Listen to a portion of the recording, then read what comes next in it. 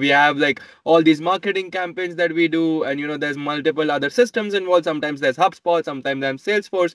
So you know so so to quickly connect all of the data and query it and you know that's where it kind of gets interesting. So you know that's where even CData becomes really useful is that you know that because i'm again just me so sometimes you know like sitting and like figuring out api connections is a very long time for me whereas you know within CData connect cloud you just log in whatever minimum minimum setup and then you already are good to go. You can query some of the data.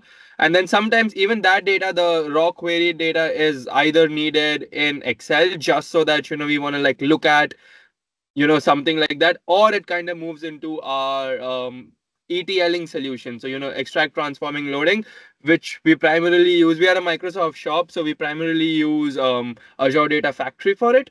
So the bulk of CData use in our case comes from this, you know, like source applications, Excels, whatever, like on-prem data, whatever, whatever, whatever, all comes into one, like, you know, CData Connect Cloud as a middleware. And then that kind of attaches over to Azure Data Factory that's the like that's maybe say the bulk of 85% of what i use CData connect cloud for.